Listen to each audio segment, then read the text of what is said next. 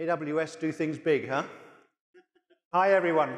It's a pleasure to be here in front of you tonight to give you some perspective on the competitive environment of Formula One racing.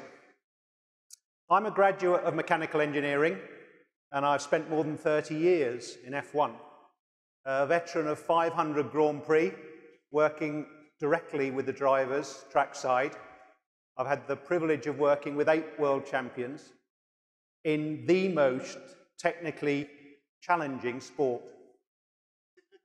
And that challenge is laid down in, for all of the F1 teams, and it seems pretty simple. Huh?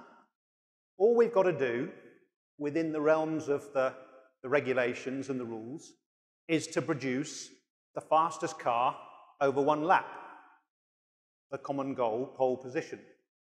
But it's not that simple. Because in a season of 20 races, does the fastest car at the first race of the season prove to be the fastest car at the last race of the season? Invariably not. It's all a trade off. But what are those trade offs, and how do we make sure that we're trading smart? There are three fundamentals, performance significant parameters in an F1 car aerodynamics, power, and weight. Over 10,000 components go to make up a, a, modern F1 car. And of those, maybe 200, 300 have a direct impact on some or all of those fundamentals. Every part of that car has to pull its weight and in the case of engine parts, quite literally. Throughout the design and build process, uh, from blank sheet of paper to race ready, uh, that's a process that takes a team of 600 engineers around about six months. We have to navigate a path that has never been trodden before. A path which leads to a destination that we have only imagined in our creative and innovative mind. And innovation is the key. We cannot stand still. We can't rely on the tried and trusted because the competition is simply too tough. This season, for example, alongside AWS, we've developed a ground speed sensor, a virtual ground speed sensor, off car, based on AI and machine learning technology and using AWS uh, SageMaker, this delivers more reliable and faster data to our engineers. And crucially, it allows us to save weight in a sport where every gram counts. This is innovation. And of course, we have to move on from design to the harsh reality of the track. There are many variables to think about the track. Weather conditions, tyre characteristics, variations from track to track. But this is racing. This is what racing is all about. That's the difference from design to racing. But racing is not an exact science. In striving to understand every aspect of performance, we gather data, lots of data, huge amounts of data, probably too much data. But F1 racing is a blend of hardware, software, this data we're talking about, and of course, human skill, the driver. The driver is the one part of this complex jigsaw that we haven't designed, we haven't built, and we certainly haven't programmed. Unfortunately, there's no control alt delete on these guys. But the driver, from our point of view, is the intelligence that allows us to make sense of too much data. In a relative sport, there are no absolute solutions, and there's only a small margin of success. And we can think of it maybe as a Venn diagram. What is possible within the realms of science? Let's make the most responsive, reactive, performant car we possibly can. No, no, no, hold on. There's rules and regulations laid out by the governing body, the FIA. And then, of course, there's the human, the driver. Every driver is different.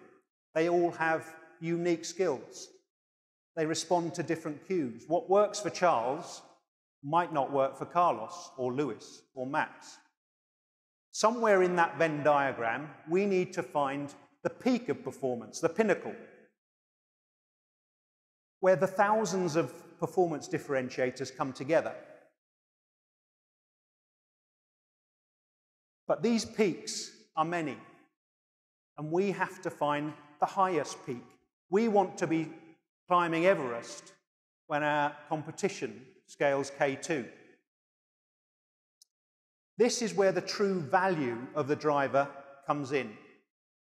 His ability to both identify and communicate, and, and communicate is, is the important thing there. It, communication is everything. To communicate his interaction with the car, to guide our team of engineers in the right direction. There are a number of ways to reach that peak, but alongside those number of ways to reach the peak, there are hundreds of ways of getting it very, very wrong. And time is never on our side. On track, we face constant decisions. Every day, every hour, every minute, actually every second, we make decisions. Decisions which impact other decisions, deciding between options which are mutually exclusive. Do we want to trade off speed for cornering? Or do we want to trade off weight for reliability? Those trade offs also vary from circuit to circuit.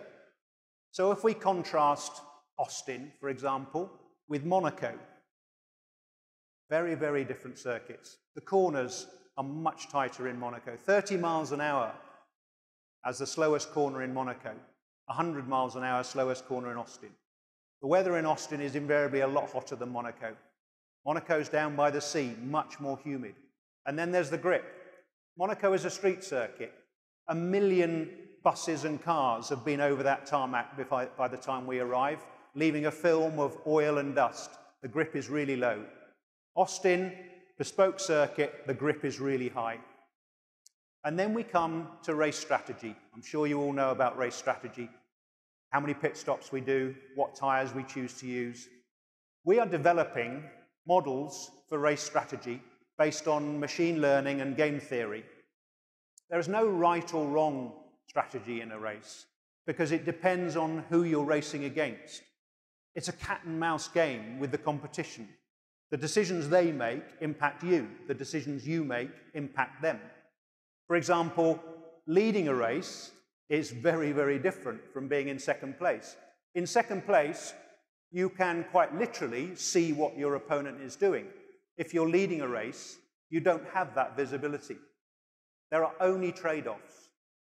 And we have to make sure we're trading smart.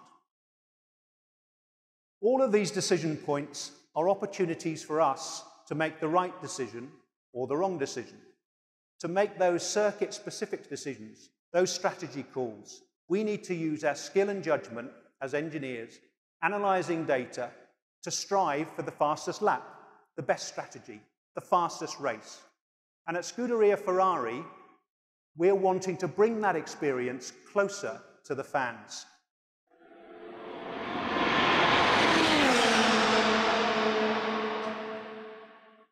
To do that, next year we'll be launching the Scuderia Ferrari app powered by AWS and using AWS Analytics to deliver the best experience for our global fan base.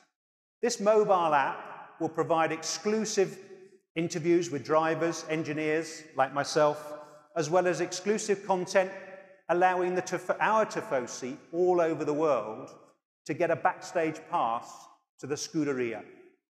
Stay tuned. Thank you for having me today and I hope to see you again at the track. Thank you.